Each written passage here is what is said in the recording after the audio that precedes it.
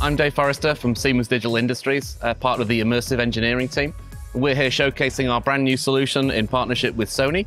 So Siemens NX is one of the world's premier 3D CAD engineering design applications used by companies like Samsung, Mercedes-Benz, NASA, uh, and Sony to design products. So around about three years ago, Sony came to Siemens and said, we're designing 3D products using a 2D screen and a keyboard and a mouse. Surely there's a more natural and instinctive way to design products. So between us, over the last three years, we've developed what we call immersive engineering. So the concept here is, as well as being able to do design still in your NX desktop session, you use the purpose-designed Sony headset, um, available exclusively via Siemens.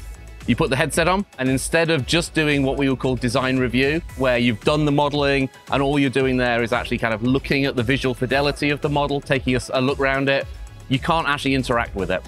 With immersive engineering, you have a direct link between your NX engineering desktop session and your immersive environment. So you make a change, and, um, and by a change, I mean a geometry change, an actual engineering change. You make that change inside NX, you see that immediately reflected inside your immersive environment. So it's kind of cool technology. It's brand new. We are the, there's no one else in the world that can do this. The thing that we're moving towards is actually having the headset on and doing the design inside the headset itself.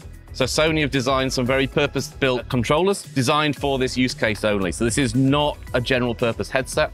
It's designed for design engineering, works solely with Siemens NX. We're working here with uh, one of our customers, a company called BAC, based in the UK. They design these incredibly cool single-seater uh, track day, but also roadworthy cars. And what we're seeing with, with the technology here is the ability for things like collaboration. So engineers in the UK working with the owner who's based in Germany so they can look at the same parts, they can look at the same car uh, at the same time, they can make design changes, he can view them say, yes, I like it, sign it off, without having to travel backwards and forwards between the UK and Germany. Huge process advantage, big cost savings.